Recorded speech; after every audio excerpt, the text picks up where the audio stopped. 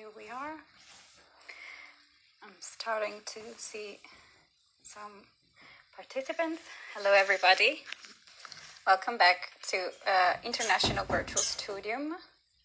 I'm gonna wait for other peoples to come and to connect with us, but uh, for the few of you who are here, can you please give me feedback if you can hear me or see me properly? Thank you. Okay.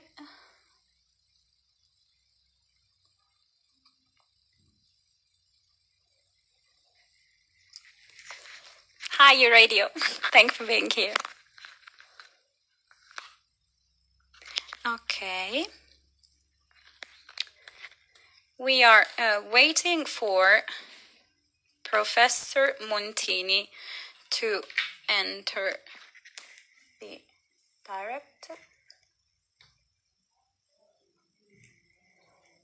We're just gonna wait. Okay.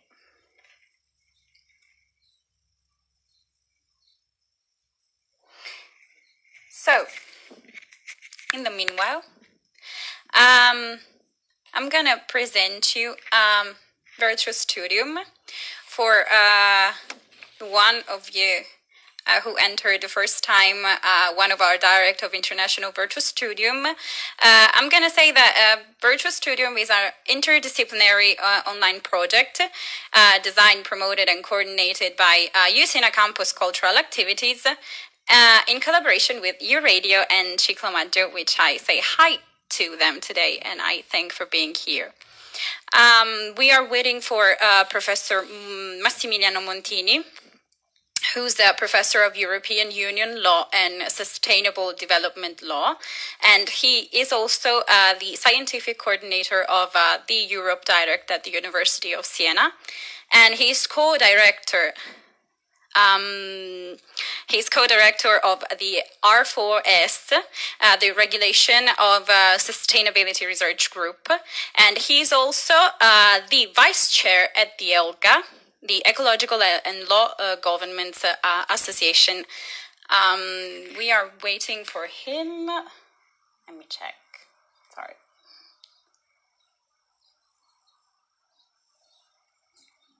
Okay. I'll send an invitation to him. I wanted also to remind to you that uh, International Virtual Studium is a week appointment. So after today, we're gonna see you uh, next Thursday. And you can find uh, our videos on uh, UCNA Campus um, EG account, Instagram account, and you can also find our directs on the YouTube channel of the University of Siena. Uh, please, if you have any comments or any questions that you want to ask, you have the comment section down below. Okay.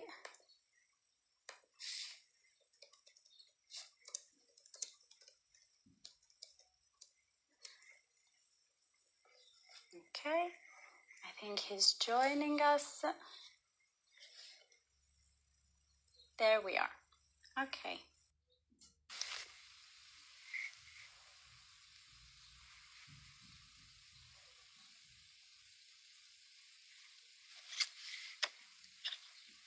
Let's wait for him. Okay, he's connecting with us. Perfect.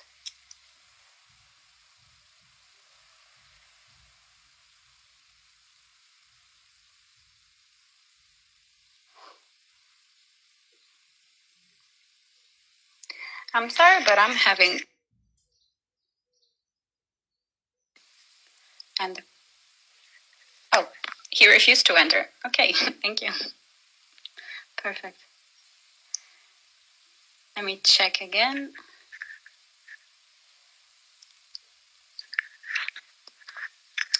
Okay. Let me see if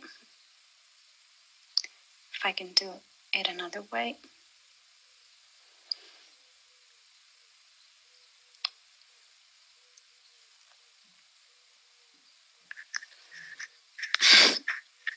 I'm reading the comments of Euradio Siena. he's a friend of mine who's writing. Hi, Mattia. I know it's you. Okay.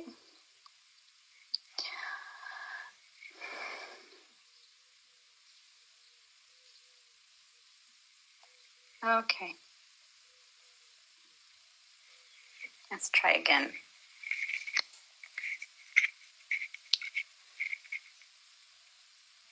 Okay, he says it's connected. Okay. Okay. Okay. Hi, Professor. Okay. Welcome. Hello. Hello. Can you- Now I can hear you. I can see you. Okay. Okay, perfect. I can hear you and I can see Now you it should be properly. all right. Yeah. Okay.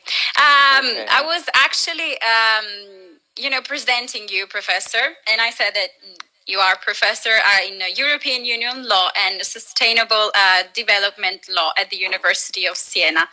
Um, today, um, we are actually using you because you are the director of uh, the R4S, the Regulation Sustainability Research Group, and you are also uh, vice chair at the ELGA, the Ecological Law and Governance uh, Association. So, um, the main theme of today is a post COVID 19 ecological law and governance approach. Uh, based on this title, Professor, uh, the first question that I wanted to ask you is uh, what are the data and the information that we are collecting now about our ecological situation during this 19 pandemic situation? Yeah.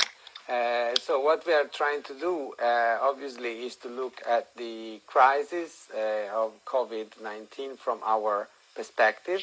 Uh, we have been uh, launching our global platform uh, four years ago, um, the Ecological Law and Governance Association. Uh, this started in 2016 uh, with um, a declaration. We first had our gathering in Oslo, and so we have a, doc- a founding document which is called the Oslo Manifesto, um, dated uh, 2016 that uh, everybody can find on our website, elgaworld.org. And uh, obviously, this is our starting point. It's it's a it's a network. So obviously, nowadays with the current um, emergency, COVID emergency, we are uh, connecting with all our uh, partners and colleagues and friends around the world to try and share um, ideas and share experiences as, as we usually do. So we try to uh, try to see whether our messages can be useful for the restart after the COVID. Try to use uh, obviously the scientific data, but also the um, social sciences uh, reflections that are appearing all over the world on these issues.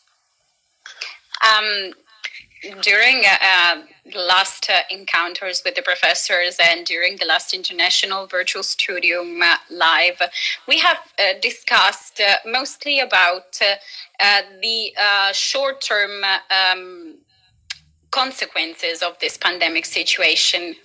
Which could be mobility, which could be the social changing, which is actually now. But um, about our ecological and sustainable situation, what are the long term consequences that we will face after the end of this pandemic situation? Yes, of course. We are now all uh, worried and concerned about the current, um, you know, uh, visible uh, consequences. We are all more or less blocked at home. We have to reduce our normal activities. Uh, the, the crucial question nowadays that we should think um, about is should we restart in the same way? I think this is the most interesting question. Uh, so we hopefully have a bit of time now. Everybody has a bit of time more than, than usual. Uh, and so it's time to think, uh, both at the global perspective and at the local, at each one's uh, life. So, do we want to restart in the same way? Do we think that everything we were doing was correct, both individually and collectively? So, I think it's the right time to pose this kind of question. I think it might be the time to seriously think about a more sustainable society, about uh, better ways to consume and produce our goods, uh, about a better way to produce our energy, and and and, and to uh, to live differently. This doesn't mean to completely change our um, lifestyle, but maybe to consider, for example, a different approach between humans and nature, which is one of the issues we are dealing with. Um, so try to have a more balanced approach. So um, one, one, our, one of our keywords is that we should um, um, have a, start a, a, a time of responsibilities. So try to consider our responsibilities towards nature and towards the ecosystems, which are the basis for life. Uh, and, and not but life of all um, living beings. So I think this maybe looks a bit um, strange to some people, but it's actually, uh, if we want to restart in a more sustainable way, uh, this might be a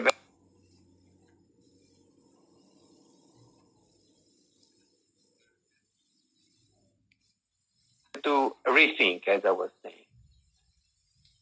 Okay, so uh, what you are suggesting now is to think and to rethink a new paradigm of for the um, ecological approach uh, to law and governance. Is it correct? Yes, um, we, we, we talk about an ecological approach. Um, ecological approach uh, means that uh, we want to uh, put first the integrity of ecosystems. Uh, if you look at the way humans have been developing in the last um, 50 years, um, this has been a, a story of uh, domination and overexploitation of natural resources. We now uh, are in the middle of a very big climate crisis, uh, and this is something that everybody is well aware of. We are in the middle of a biodiversity crisis. Um, we are in a situation where uh, we, we don't have equity around the world, uh, and, and, we have a lot of inequalities and poverty, which are increasing.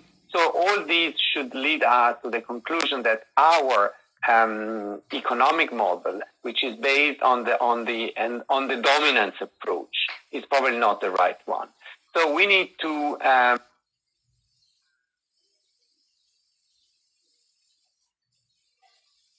and the way we um, deal with our relationship with nature, with our other living beings. If we don't start with these um, underpinning, with these ecolo- with these philosophical foundations, I think we we miss the, the, the reason why we need to change.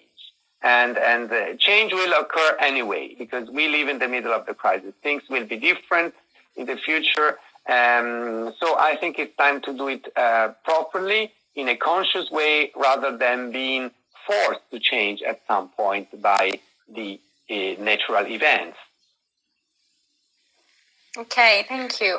Um, one of the questions that uh, I wanted to ask to you is that we, uh, during the last uh, meetings uh, on on International Virtual Studium, we have talked about uh, even the the worst consequences that um, you know that this pandemic situation could have and could lead our society to.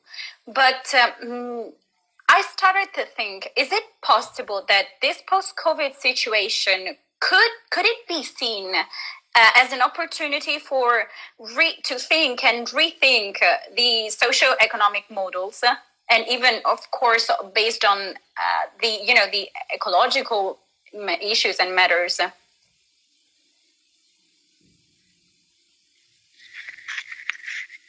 Okay. I'm having trouble in seeing the professor. Can you see him? Because I I can't. I lost him.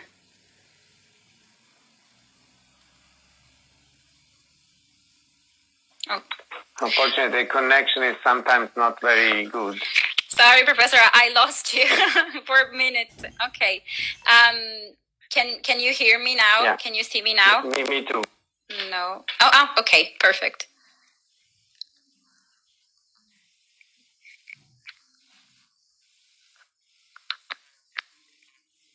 Mm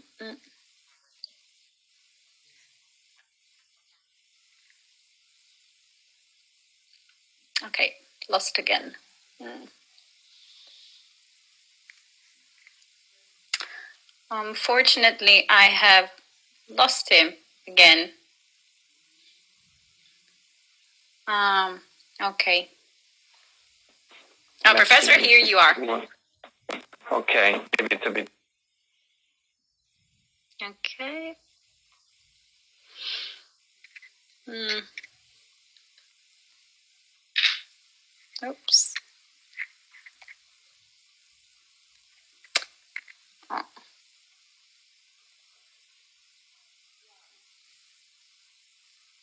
Professor.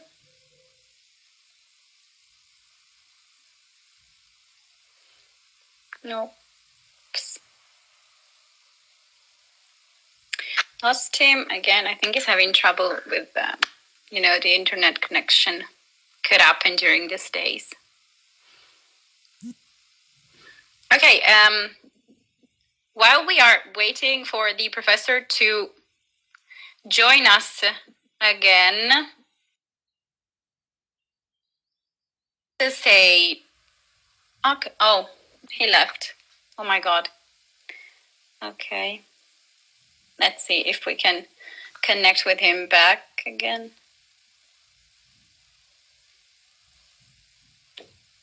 So sorry, guys, but you know, it's uh, we are in an emergency situation, so these things could happen. Okay, here we are. Yes, maybe.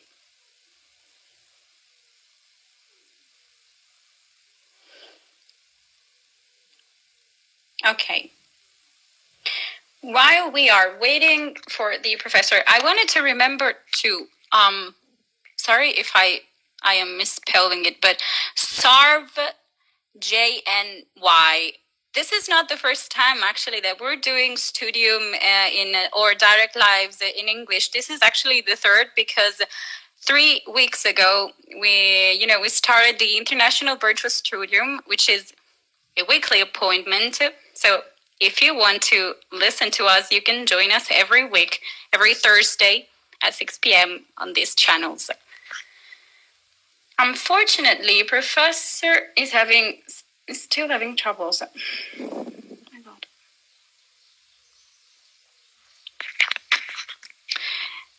Okay. Where is he right now? Where are you? Okay. Sorry. Okay, let me see.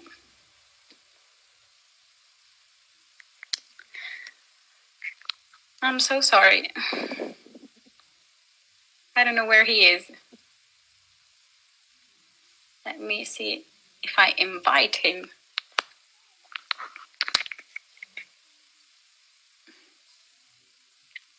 Okay, they're telling me that he's changing the internet lines, so He'll be back in a few minutes. Uh, Sarv JNY. Yes, I'm sorry. You lost the first two, but you can check them out in a few days on the YouTube channel of uh, the University of Siena because uh, we are, you know, uploading all the old live videos uh, on the YouTube channel. Okay. Tell us a joke. I'm not good at jokes. I can smile. That's it. Okay. Okay. Okay. I changed, the, the room. yes, okay, perfect. So I perfect. hope here is a bit better.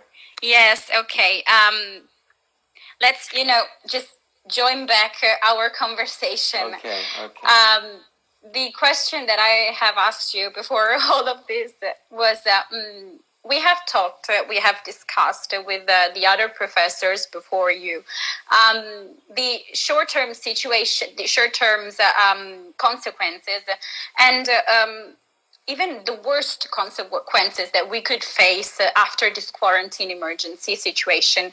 But um, I have thought about something the post COVID period, um, could it be seen as an opportunity for the rethinking of the social economic models and not just as the end of something that destroyed us. Yeah, of course. Um, I think we should we should have an, an, optimistic approach. I think we should have a. It sounds strange because now we are all a bit somehow depressed, being at home, you know, being away from our traditional social connections. But I think we should see this as an opportunity. Many people have uh, made a parallel between the current situation and the post-war um, situation after Second World War, where of course people had to uh, restart their economies in most countries almost completely. And this is a similar situation. I think it's, it's, it might be a big change. It might be the big change we were waiting for, because we have been talking about this for many years. Uh, yesterday was the, you know, the 50th anniversary of the yes. Earth Charter, and the, the, Earth Day and, and mm. all that has followed that, you know, and in, in the beginning of the 70s, another big crisis occurred with the oil, big oil crisis at the beginning of the 70s. This was the first time that international institutions uh, started to act. It was the, the, the, time that the European Union started to act. So it's about 50 years that we have been talking about that, about the limits of our economic model. And, and, and recently, we have a lot of evidence with the climate crisis, as I was saying, and with other um, you know, environmental and, and, and, ecological crisis. So this might be the situation where, you know, we start thinking, okay, what, what should we change? Because I think we shouldn't, uh, we shouldn't have the idea that everything can be started in the same way. So for sure, we, we need to change something and we need to do that with a certain enthusiasm. And I think we need to engage particularly young people to come out with new ideas, with new opportunities. And I think this should be the way it is. It shouldn't be seen as something we lose, but actually as an opportunity we have to, to do things in a different way. Maybe making a better use of technologies. And as you can see now, we have the opportunity to do these kind of meetings. We still have a lot of connection problems, which means that you know things are not perfect yet, but at least we can have you know a broad connection. We can connect people we maybe couldn't be there if it was a physical meeting. So I think we should try to to you know to work on that and and, and to be you know to be proactive in the change because I think what will make a difference it will be you know some people will be proactive and be part of the change some other people, as usually in history, will just, you know, uh, be, have, have, a passive approach and just have to mm. cope with the consequences of, of, change. And I think we should try to be, you know, proactive and enthusiastic because, you know, it, it's probably a different time, a new time, and we should be part of it. Should be resilient, we could say. Exactly, we should be um, resilient. We have uh, actually a question. Um, more more than a question is actually you know a statement. Um, Radio Siena is uh, writing. The paradox is the countries who polluted the most uh, are those who are less um, attentive to the climate crisis. Could COVID 19 be a real engine? For instance, the USA aren't fully persuaded uh, of its urgency. Yes, it's true. I was expecting a question about the USA uh, uh because clearly this is, this is a crucial uh, example. It's a crucial example of the fact that if you look at the, you know, the way that the, you know, the president of the U.S. is, is the, you know, the, the most evident example of the old approach, I would say, of the traditional approach, of the oil approach, of the carbon approach. But of course, uh, I would say this is just, um, it should be seen as a person that is defending the past or is defending a past approach is not certainly projected in the future. So obviously we are not uh, making here political considerations.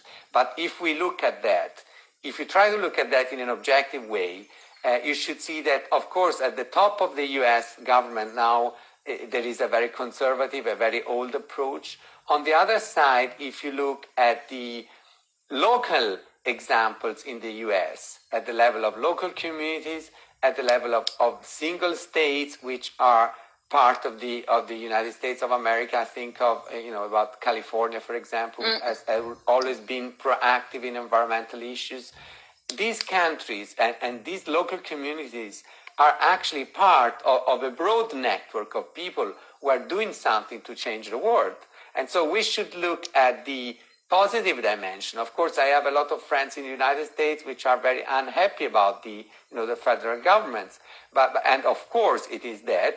But uh, we, if you if you place that in, in an historical perspective, this might be, you know, just the the end of, of, of an old paradigm, and, and, and then maybe other people will come with a new approach.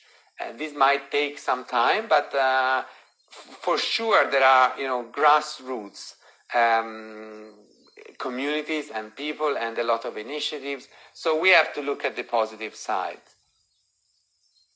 Okay. And, and, also, maybe I would like to say something more about before the interruption. I, I was about to explain uh, yes. the difference between yes, our ecological approach and the traditional environmental approach. This is particularly relevant in the in the legal and institutional dimension, which is my main area of work, although yes. our as, association has a, an interdisciplinary approach. Um, the difference is that um, when we speak about uh, ecological approach, we speak about a, a, an interconnection, as I was saying, between humans and nature. And so we protect ecosystems because we consider that humans are part of ecosystems. So we have a, a, a sort of ecocentric approach, but humans are embedded into the ecosystems. So we protect the ecosystem because we are part of it.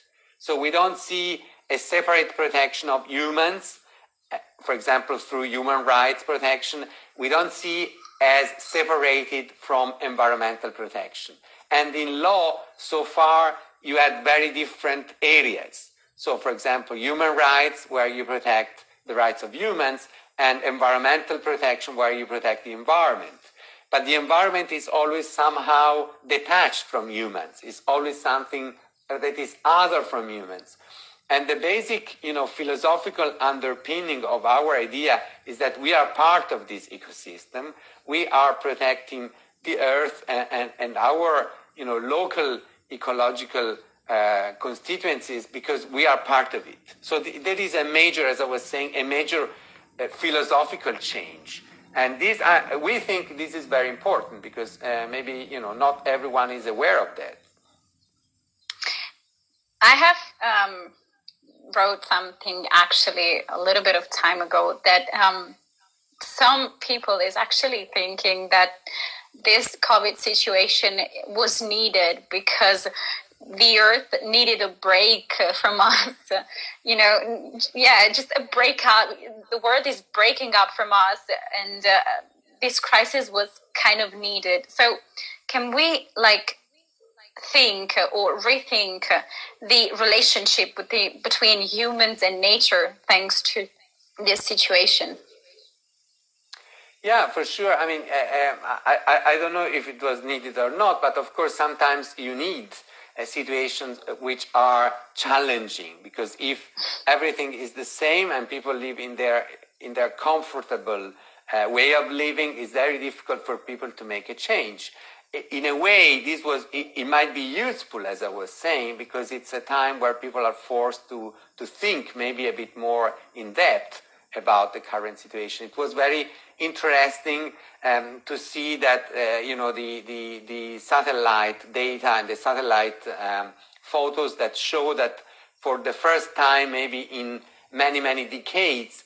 the the air quality in areas like the uh, Pianura Padana, like the Milan area, was much cleaner than it usually is. Of course, we, we, we could have expected that because we had the data showing that this was one of the most polluted areas in Europe. And we have satellites now that are measuring that. But now we have actually the evidence that if you slow down our, yeah. you know, uh, carbon-based economy, obviously the quality of the air will improve. And this will be, will have positive consequences for example, on, on ecosystem and on our human health. So this demonstrates, as I was saying, that the two things are related.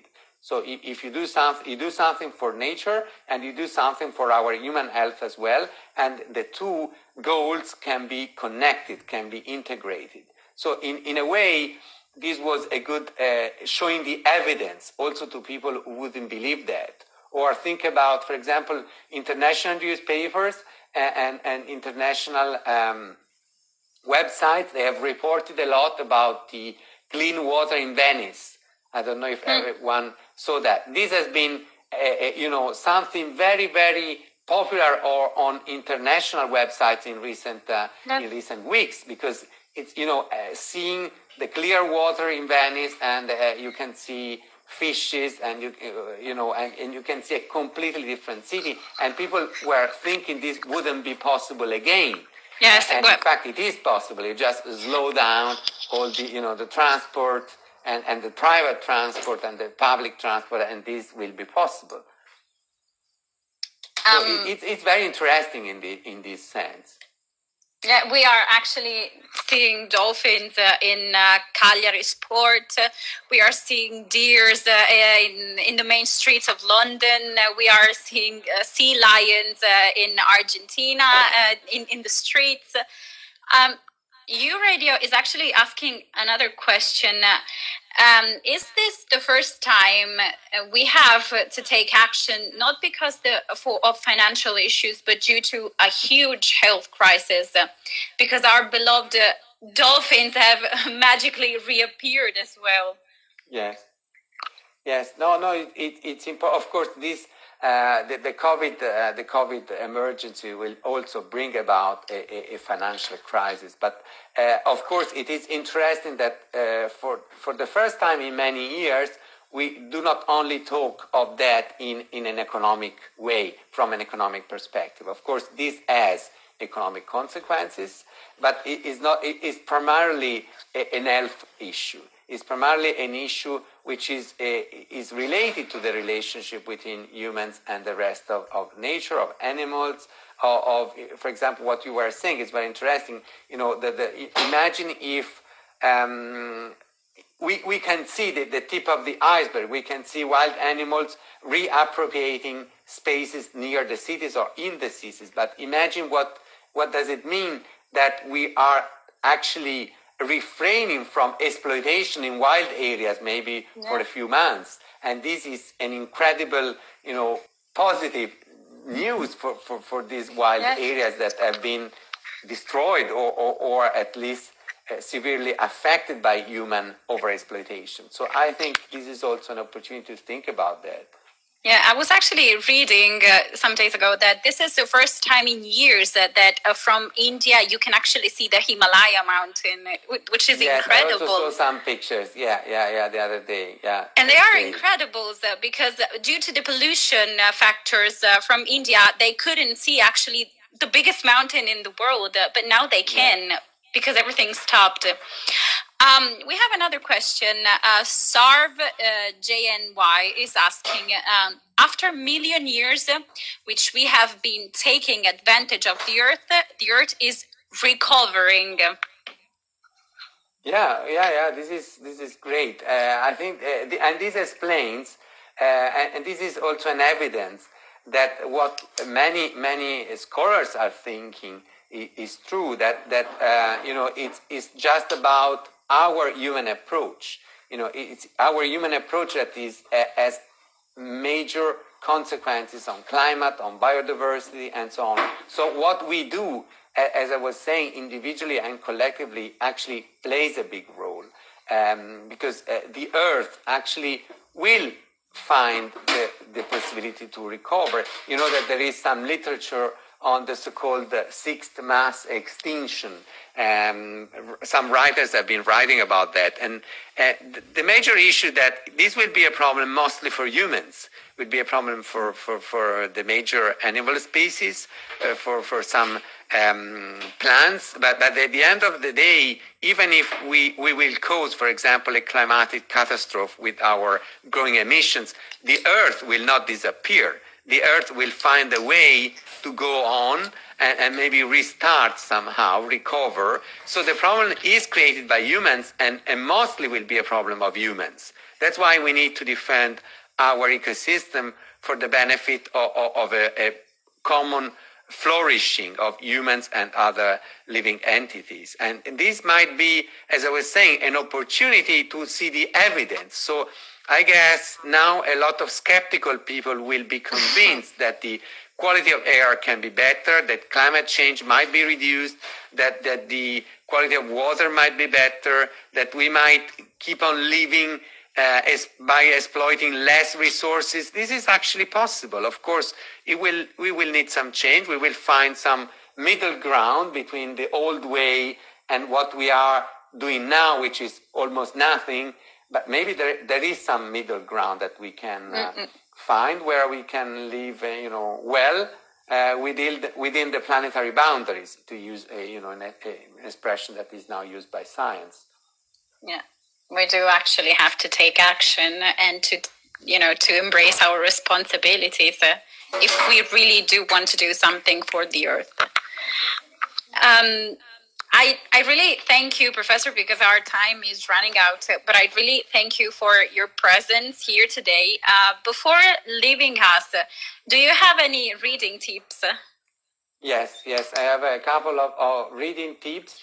Uh, I, I um, have um, selected two books, which are actually um, two books that I think many people will not know. That's the reason why I want to point out to these books. And, and uh, um, in fact, you will be surprised that both books are not, not really new, and both books, they have an American origin. Uh, they are from thinkers from the US. And this is also to demonstrate to many people that many people think in the United States nobody was thinking about these, these issues. Actually, some of the great thinkers about a new approach between humans and nature were coming from the US and were coming from the Americas. Let's well, say. not, not so, just them. Uh, Jane Fonda was actually arrested, which is one of the greatest act- actors, uh, actress It's true, it's true, it's true. But this is something maybe even, you know, the, the, the, let's say the philosophical underpinning, not many people are aware that a lot of great thinkers about this, they actually came from there. So the first one is um, a, a, book which is a, a bit uh, dated, but is one of the bases of this different approach between humans and nature. The author is Aldo Leopold, uh, and the book is called a County, um, a Sand County Almanac. It's a book that initially was written in 1949, so it's quite old. Uh, it had a, a, a, a golden uh, age in the 70s when it was rediscovered when all this began with, with the Earth Day and so on. And yesterday I was reading actually that they just published, there is now a foundation uh, under the name of Aldo Leopold in the US, and they just published a 50 years edition, uh, and it will be very interesting. It, it's a book about the relationship between humans and nature, which was the starting point for a lot of reflections, first in the States and then all over the world. And the second book is also by a, a great thinker um, who was active in the US. It's a book uh, dated 1999. Um, the author is Thomas Berry, uh, and the book is called The Great Work.